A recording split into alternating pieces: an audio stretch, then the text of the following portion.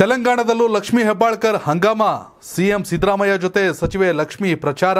Hi, hello. ನಮಸ್ಕಾರ ವೀಕ್ಷಕರೇ, ಕರ್ನಾಟಕ ಟಿವಿಗೆ ಸ್ವಾಗತ. ನಾನು ಯೋಗೇಶ್ ಈಶ್ವರ. ವೀಕ್ಷಕರೇ, ಕರ್ನಾಟಕ ವಿಧಾನಸಭಾ ಚುನಾವಣೆಯ ಫಲಿತಾಂಶ ಇಡೀ ದೇಶದಲ್ಲಿ ಬಿಜೆಪಿ ಹೊರತಾದ ಪಕ್ಷಗಳಿಗೆ ಒಂದು ರೀತಿಯ ಸ್ಫೂರ್ತಿಯ ಚಿಲುಮೆ.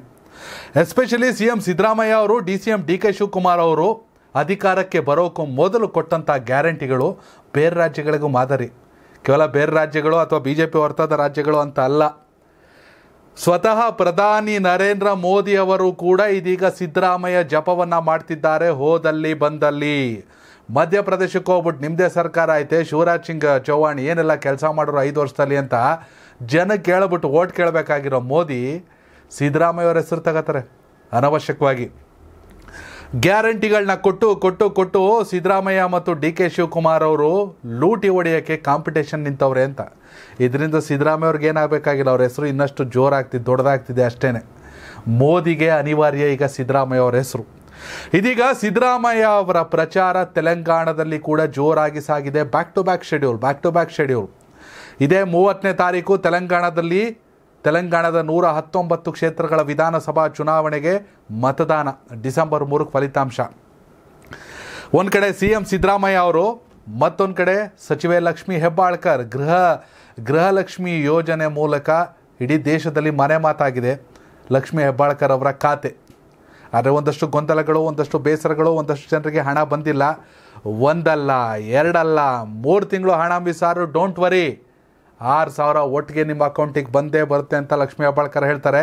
ಇದೀಗ ಲಕ್ಷ್ಮೀ ಹೆಬ್ಬಾಳ್ಕರ್ ಅವರು ವಿಶೇಷ ವಿಮಾನದಲ್ಲಿ ಸಿ ಎಂ ಸಿದ್ದರಾಮಯ್ಯ ಅವರ ಜೊತೆಗೆ ತೆಲಂಗಾಣಕ್ಕೆ ಕಾಲಿಟ್ಟಿದ್ದಾರೆ. ತೆಲಂಗಾಣದ ಮಹಿಳಾ ಮತಗಳನ್ನು ಕಾಂಗ್ರೆಸ್ಗೆ ಸೆಳೆಯುವ ಲೆಕ್ಕಾಚಾರ ತೆಲಂಗಾಣದ ವೋಟ್ ಬ್ಯಾಂಕಿಗೆ ಕೈ ಹಾಕೋ ಲೆಕ್ಕಾಚಾರದಲ್ಲಿದ್ದಾರೆ.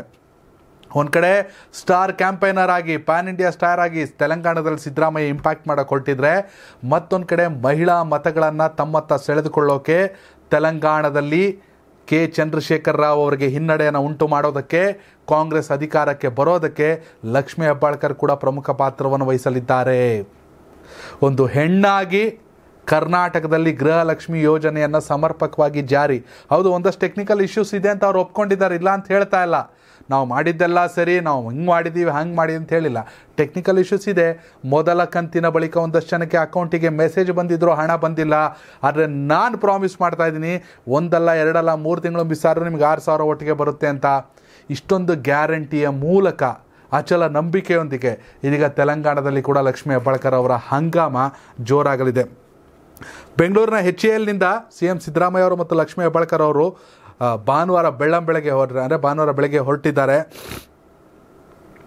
ತೆಲಂಗಾಣ ಪ್ರದೇಶ ಕಾಂಗ್ರೆಸ್ ಸಮಿತಿ ವತಿಯಿಂದ ಮಕ್ತಲ್ ಅನ್ನೋ ಪ್ರದೇಶದಲ್ಲಿ, ಕ್ಷೇತ್ರದಲ್ಲಿ ಆಯೋಜಿಸಿದ ಸಾರ್ವಜನಿಕ ಸಭೆಯಲ್ಲಿ ಲಕ್ಷ್ಮೀ ಹೆಬ್ಬಾಳ್ಕರ್ ಮತ್ತು ಸಿ ಎಂ ಸಿದ್ದರಾಮಯ್ಯ ಅದ್ಭುತವಾದ ಭಾಷಣವನ್ನು ಮಾಡಿ ಮಹಿಳಾ ಮತದಾರರನ್ನು ಲಕ್ಷ್ಮೀ ಹೆಬ್ಬಾಳ್ಕರ್ ಸೆಳೆದಿದ್ದಾರೆ. ವೀಕ್ಷಕರೇ, ತೆಲಂಗಾಣ ವಿಧಾನಸಭಾ ಚುನಾವಣೆಯಲ್ಲಿ ಏನಾಗ್ಬೋದು ಫಲಿತಾಂಶ?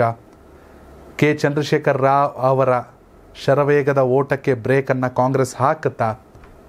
ಹಾಗೆಯೇ ಮುಂಬರುವ ಲೋಕಸಭಾ ಚುನಾವಣೆಯಲ್ಲಿ ಕರ್ನಾಟಕದ ಇಪ್ಪತ್ತೆಂಟು ಲೋಕಸಭಾ ಕ್ಷೇತ್ರಗಳಲ್ಲಿ ಯಾವ ಪಕ್ಷಕ್ಕೆ ಎಷ್ಟು ಸ್ಥಾನ, ನಿಮ್ಮ ಅಭಿಪ್ರಾಯನ ಕಾಮೆಂಟ್ ಮಾಡಿ. ಧನ್ಯವಾದಗಳು.